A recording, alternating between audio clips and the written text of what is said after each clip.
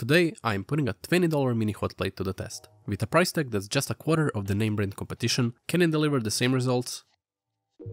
A couple of videos back I showed you how to design and assemble circuit boards at home. The whole point of the video was to show you that it's totally possible to do at home without any special tools. But to do so, I did have to improvise a bit. Additional tools always come in handy and make the job easier, so when Sequre offered to send me this hotplate for a review, I was very interested. It's the Sequre T55 hotplate, and in this video I'll show you what's inside the box, how to use it, and I'll be assembling a couple of PCBs to see how it works.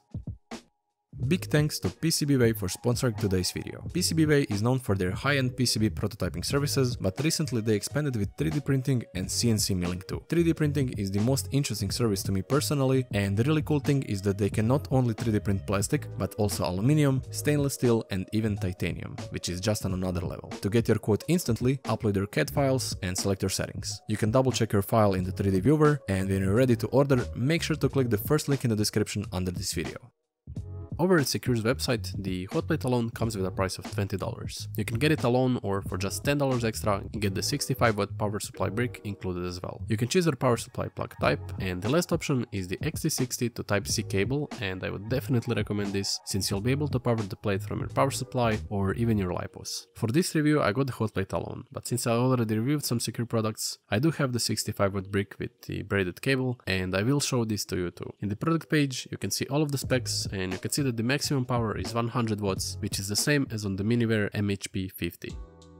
The hotplate comes in this small plastic box and is protected by foam from all sides. We literally get nothing else and even the user manual is in a form of a QR code. Scanning the QR code sends us to the Sequre website where we can see all of the parameters and options. The hotplate arrives in a small plastic bag and overall looks really simple. There is an OLED display on the front, two buttons on the back along with the USB Type-C connector for power. The bottom has a rubber sticker so the plate doesn't slide on the desk and on the top is the main plate which heats up. There is a 3.5mm jack on the right side and even after using this plate for around a month I still have no clue what it does. It is not displayed anywhere in the pictures or in the manual so I'll guess I'll have to write to support to find out what it is. The hot plate is made out of aluminium but the main plastic enclosure seems to be resin 3D printed. It's probably a good way to keep the cost down and it will not affect us in any way since these parts are usually used in prototyping and can handle normal use without a problem. So, to power it up, we have the USB Type-C connector on the back.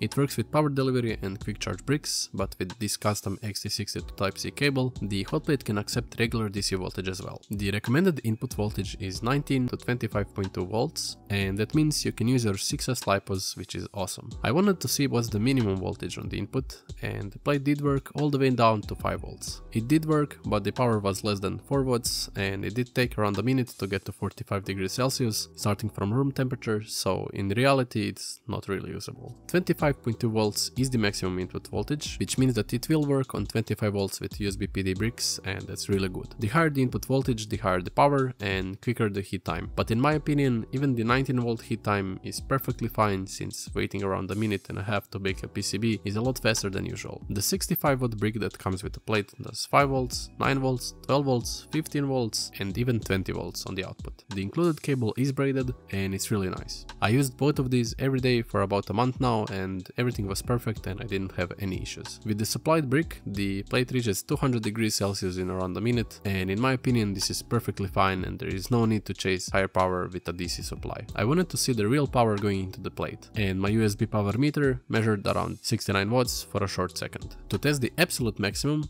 I set my Lamp power supply to 25 volts and tested it again with the power meter. The output power this time peaked at exactly 99 watts and it's really nice to see that the information in the description is genuine. To use the plate, it's almost the same user interface as on my Sequre S99 soldering iron. There are two buttons on the back. The left button decreases the set temperature while the right button increases it. Holding the left button toggles work and stop modes and holding the right button enters the main menu. In the menus we can adjust the temps, adjust the brightness of the screen, change language, limit power and change many other settings for which you can see a full list in the user manual. It's a really simple device so it didn't take me long to show you all of its features. Since I covered everything I can think about, I would say that now is the perfect time to put it into some real world action. I'll be assembling two PCBs and baking each one on the plate. One of the PCBs is going to be the TP4056 dev board I designed in the PCB design video. And for the other board, I guess you'll see what it does in the upcoming video. Spoiler alert, it's going to be really cool. I'll quickly set up my stencil jig same as before, and the paste I'm using is the low temp AliExpress paste I got for like 3 euros. Even though it is cheap, it really surprised me because the boards I assembled so far look really good. If you want to pick it up, check the links in the description below this video, and if you're enjoying this video so far, don't forget to leave it a like. So the stencil jig is finally set up, and this is how both boards turned out with the solder paste applied.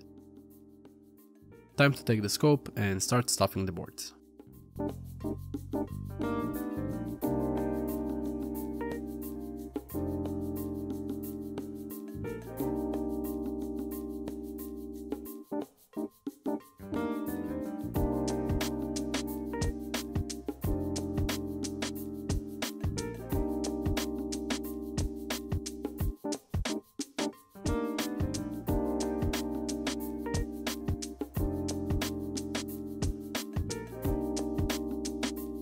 And the last component is in place, and it's finally time to bake these boards. I'll bake each PCB separately so we can see the plate in action two times. The solder paste melts at around 138 degrees Celsius, and I'll be cooking the boards at 220.